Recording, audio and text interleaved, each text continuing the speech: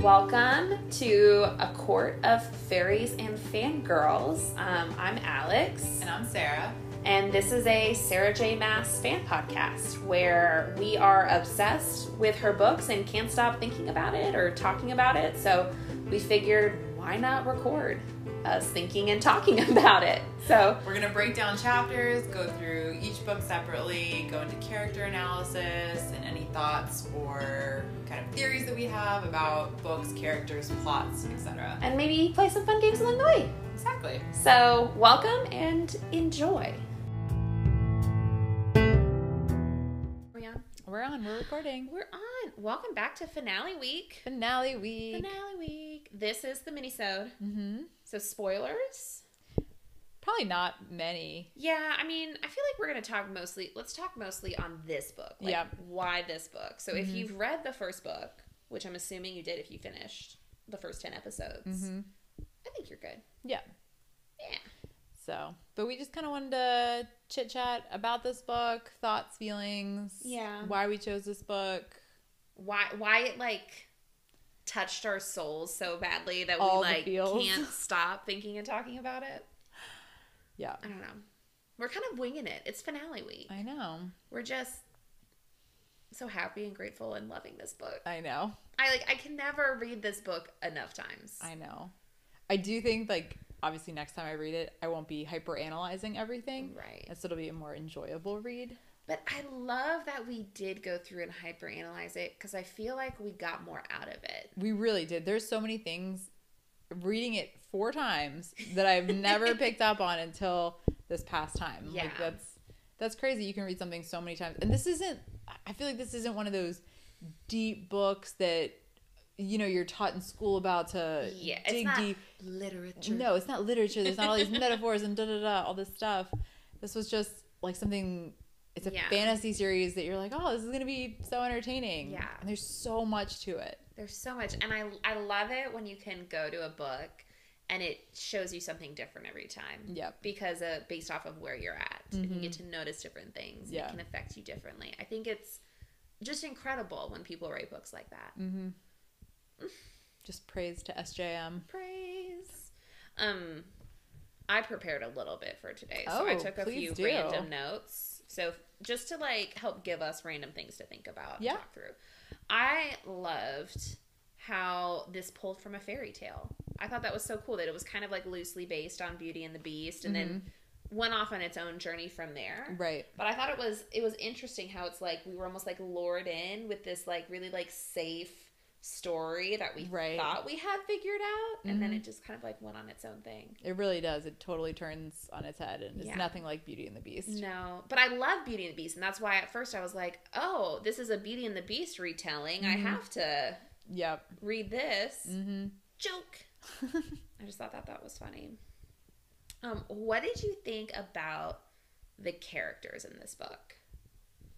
mm, so this book compared to other books, I definitely don't think you get as much depth of character. Hmm. Um, I think you know in the second book when we dive into Rhys and Feyre's relationship more, we learn a lot about them individually as people. Yeah.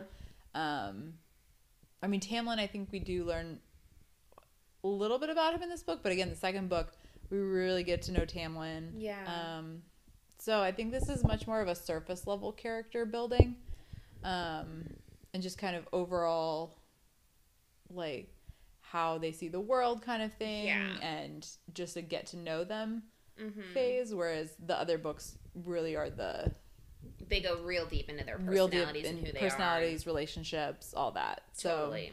I do think while you're totally right in we don't learn a whole lot about the Mhm. backgrounds of a lot of these characters. I do think that Sarah J. Maas did a really great job of sh- still showing how complex oh, for sure. everybody was. Mhm. Like no one was straightforward. Everyone's actions were like very unique and Right. like I just I really appreciated that again with what little information was given on every character. Mhm. We were shown how complex they were and then how individually unique they all were. Right. Like no two characters were remotely alike, No. which was really cool. I think. and we still get such a deep, interactive, interesting story. Yes. It's not like a surface level story. Like there's still so much going on. Mm-hmm. And I mean, I, Feyre, you learn so much about her, and you see her break down to her lowest point. So you do see a good depth of character. I just know we get more so in the second book. Totally. So, but I love that this book is still so interesting and so deep and so good that I do want to read the second book, even with a happy ending to the first book, kind of thing. I totally agree.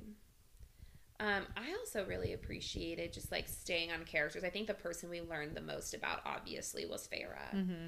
And her like journey of growth, I think is so beautiful. Oh, for sure. It's it's amazing how how terribly she starts out, how she kind of rises from it, crashes and burns again, and then Mhm. really just digs herself out of the trenches and Yeah. saves everyone. It felt very real for a fantasy book. It really you did because that's something that we go through. You know, highs and lows. It's not just oh she started low and then is high for the rest of the book. Totally. Yeah. I just Uh, yeah, I very much enjoy that, respect that, I know. can appreciate that. I just I love it. I sometimes in some ways I really relate to Feyre and in other ways I don't. Mm-hmm. But I don't know, I think whether or not you relate to her, you I think we can all relate to like that journey Yeah. in a way. Mm-hmm. And so I think wherever we're at in that journey, it's I don't know, it's it's good to in a weird way like use this as a roadmap of like, oh no, you can dig yourself out of it too. Like I Yeah. get very emotionally attached to my books and make them part of my personality. So like I'm a little extra when it comes to this. Like Mhm.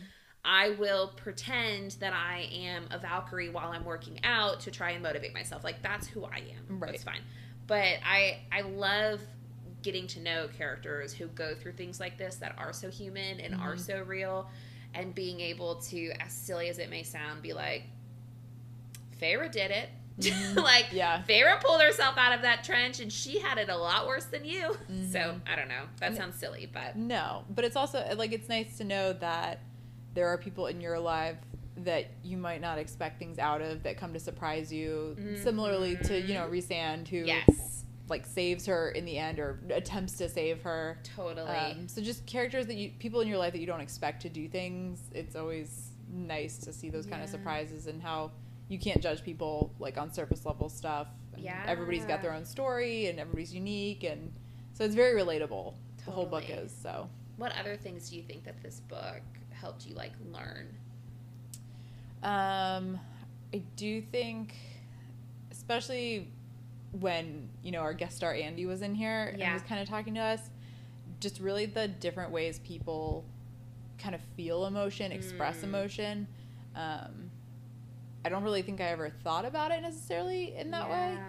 because we were i mean we were digging into elain and nesta pretty harshly because you and i are both very much in how Feyre would react to Yep. certain situations we're doers and not everyone is like that Yeah. it's very hard for me to understand why people aren't like that um, so getting andy's perspective kind of helped me appreciate how Yeah. elain and nesta acted and not necessarily judge them so harshly on that No, so I totally agree. and that's me in real life too. Like I see people and I'm like, why aren't you doing anything? I don't get it. Why are you just moping? yeah. But that's just how people respond, and that's how I should be sympathetic to that or empathetic Yeah. and just understand that not everyone is like me. Not everyone reacts like the, the same hardest way. thing. It's very hard. Why isn't everyone like me? But I think I love I love that that's what books like can show us. Right. Like I I love that just by like the act of reading, Mhm. we can learn empathy. yeah. Like or like but you know what I mean? Like it's Mhm. not even about reading like fancy literature books either. Right. Like um I have like sometime I went through a phase where I felt like I had to read to learn. Mhm. Like I, I had to like very specifically be trying to learn something. right. So I read a lot of like nonfiction books, and I just was like in in that for so long. And those are great books. Like there's Right. absolutely nothing wrong with them.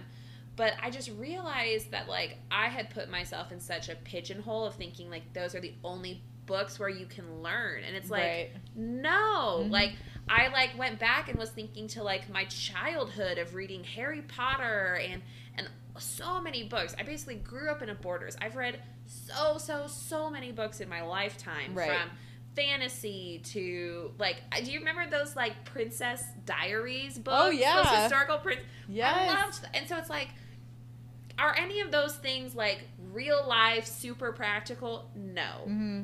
But it's like I can learn even still by seeing from a different perspective. Right. Or um, like seeing how a type of circumstance can play out and maybe that equips me to handle something later. Like it's like reading is so amazing and such a gift. So when people say they don't read, I'm like, you're a robot. Like I I, I don't understand how people can do that. But I think going back to what I went on a small tangent because I love this idea of the way the things that books could teach us. So Mhm. I just I I think she did a really amazing job at exactly what you're describing of like Yeah. showing all the different pers- perspectives by having such different characters go Mhm. through hard things and it's just I don't know it's just really beautiful to me. Yeah. Mm, I love this book so much. Um, let's see. What do you think like the overall like theme of this book was? Hmm. I'm sorry if it feels like I'm interviewing you. Oh, please, that's what I'm here for. I've got a mic and all. This is true. Um, overall theme, I think for this book, I think is personal growth. Yeah. Um, just with Feyre being such the predominant character in this book, um, and really just seeing her whole journey hmm um, and all the struggles she deals with and the interactions she has with people, and just seeing how her perspective on everything has changed. Yeah. Um, I just think it's a growth story. Yeah. Mm-hmm. I would agree with you. My focus was a little bit more, and I think this is top of mind because of the quote at the end that made me think about Dumbledore and not to get Harry Potter on it. But like, Yeah. love was the theme for me in this. Like, I Yeah. think, like, I think love comes in so many different forms and fashions. And so Mhm. it's like Feyre's like love for her family drew her in like so many different ways at the beginning and then you know it, it carried through in her trying to protect her family for a while when she Mhm. went to the fairylands and then she had her love for tamlin and this like love friendship with lucien and then you know a love for herself starting to grow Mhm. and then a love for prythian a love for her sister like i feel like in so many ways like love was the thread Yeah. that held everything together. Like even like in those moments, rhysand. Mhm. Like there was this like again, I say the word love, but love comes in many forms, right. Right. So it's like there's almost this like we talked about how there was this like weird like friendship partnership that formed and how at the end when both were like on the brink of death from Amarantha, they were trying to help each other. Like right.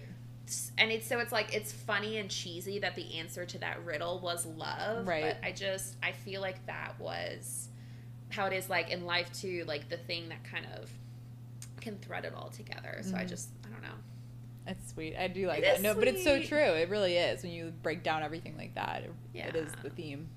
well you are also right, Right. No, I know. I, we're both, there's no wrong answer to Yeah. this. It's just, you know, I see what you're saying. yeah i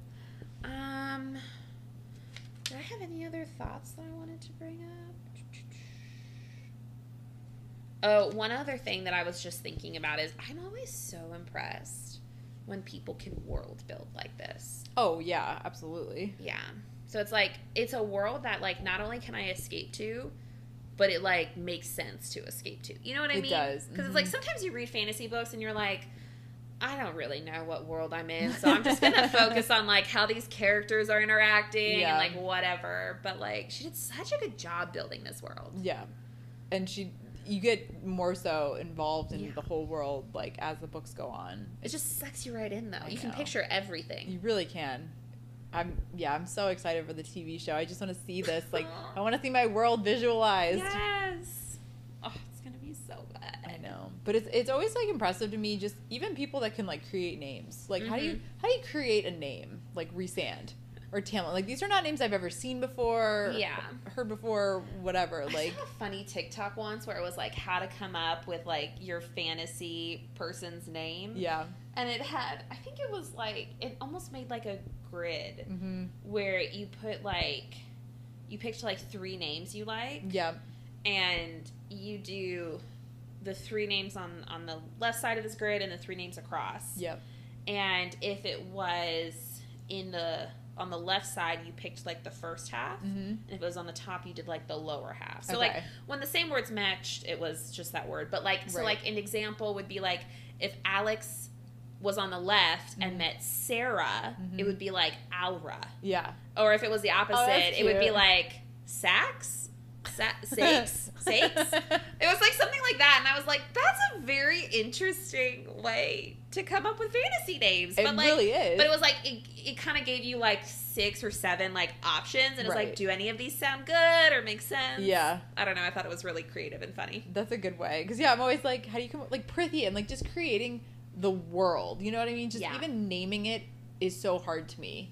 Because I've, Yeah. because I've thought, like, my husband's always like, why don't you write your own book? Like, you love to read. I was like, do you know how hard it is? It's so hard. Even just thinking of a character's name. Yeah. I was like, I don't even know how I would pick a character's name. Yeah. It's just, it's so hard. And that's why it's like all the more incredible when someone does it Mm-hmm. and does it so well. Yeah.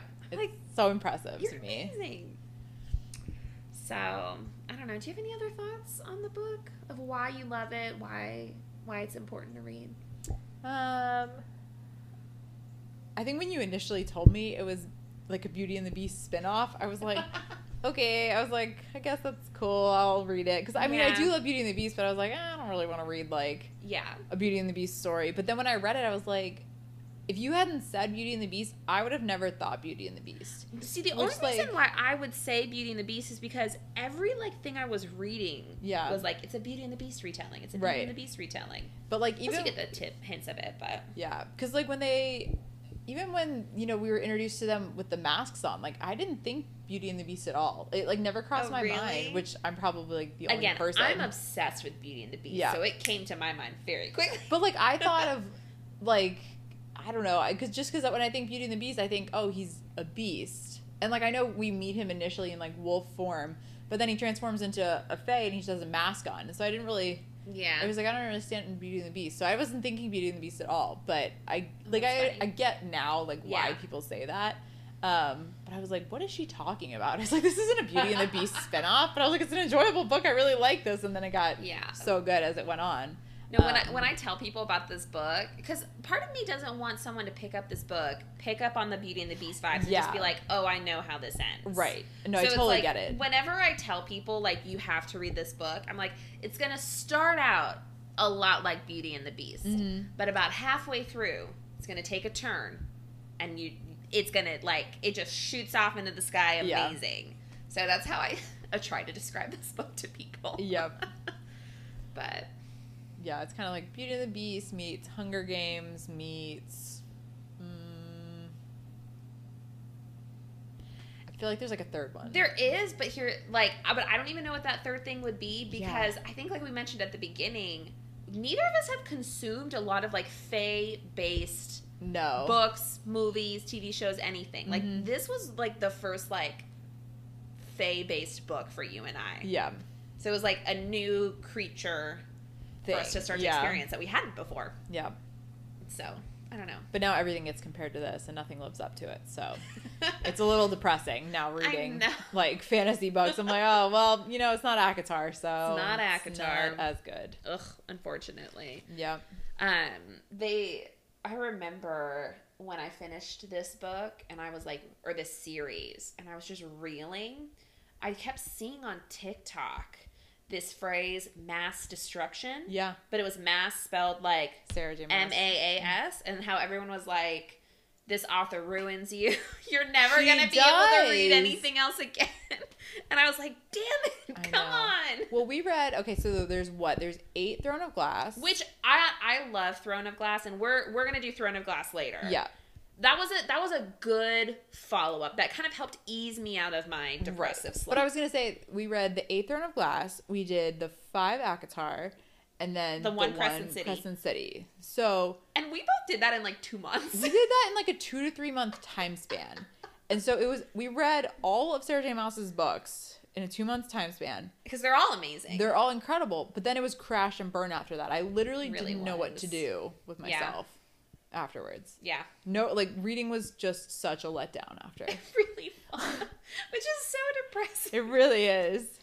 Which is why we keep rereading these books. It's part of why we decided to do this podcast because we wanted to reread the books and we're like, well, then we can keep talking about it and keep bringing it up and people won't get annoyed because it's, you know, for it's, for a hobby. It's, our hobby. It's work. So, this is a profession. ish. But any, Yeah. I just no, you're totally right. It's the the this book is so good, Mhm. just like in every way possible. Yep. It's so hard for anything else to live up to it. Yeah. And I think we did so like high level reasons why it's so good. Mm-hmm. Insane world building. Right. Amazing characters. Mhm. Amazing messages. Yep. Like could you ask for more? No. No. And that was just the first book. I know. And the first one's not even not even the best. no. oh, so I'm so excited to dig into the second book. No. Okay. No, without spoiling anything, because we kind of said this one was going to be mostly focused on just this first book. Yep. What what book is your like favorite in the ACOTAR series? The second. Okay, the second is mine For too. sure. Second Okay, so sure. readers, listeners, readers, you're both. Um, this next season, Sarah and I are about to lose our minds Yep. because we love it so much, so much. Anywho, all right. Well, I feel like we gushed enough. That was a good gushing roundup. Yep. Feels really cathartic. I know. Thank you so much for listening to our Mhm. entire first season. And great job on your part. Great. Yeah. You guys were great listeners, great support. We were great podcasters on our first season. Yeah, this was a real team effort by all involved. Yes. So thanks for listening, and we look forward to diving into book two with you guys in a few weeks. Yes, join us for season two to go through A Court of Mist and Fury. Thank you so much for listening to A Court of Faeries and Fangirls, a Sarah J. Maas fan podcast. Please rate, review, and subscribe. And let us know what you think. Jump in on the conversation. We look forward to chatting with you more next week. Bye bye.